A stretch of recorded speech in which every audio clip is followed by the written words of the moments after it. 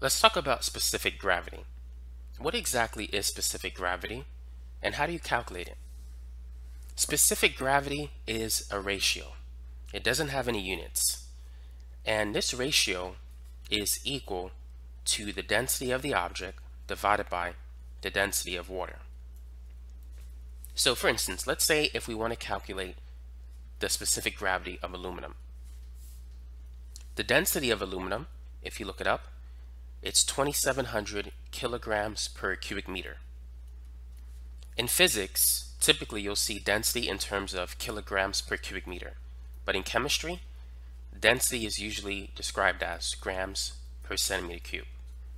If you want to do the conversion, to convert from grams per centimeter cube to kilograms per cubic meter, you could simply multiply by 1,000. So in chemistry, the density of aluminum would be reported as 2.7 grams per cubic centimeter. The density of water is 1,000 kilograms per cubic meter. So when you divide these two, notice that the units kilograms per cubic meter is going to cancel. So this will give us a specific gravity of 2.7. Let's say, for instance, we want to calculate the specific gravity of ice. All we need to know is the density of ice and the density of water, and we could do that. The density of ice is 917 kilograms per cubic meter. The density of water is 1,000. So when you divide these two, you get 0.917.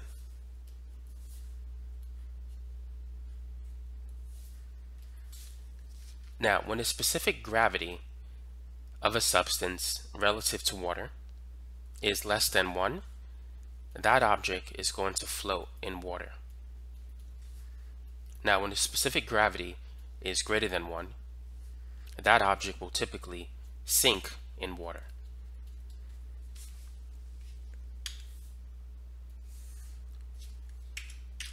So let's draw a picture. So let's say we have a beaker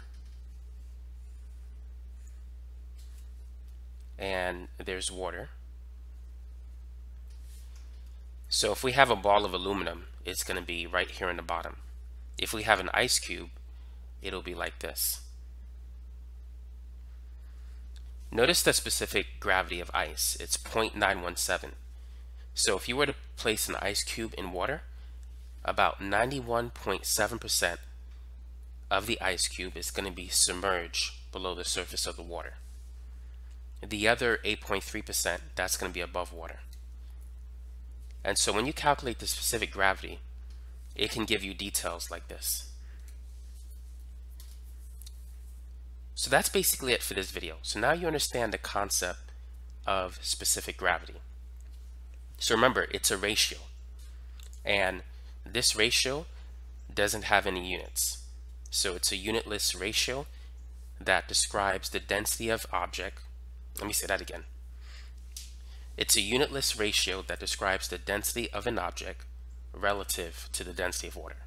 So that's what it is.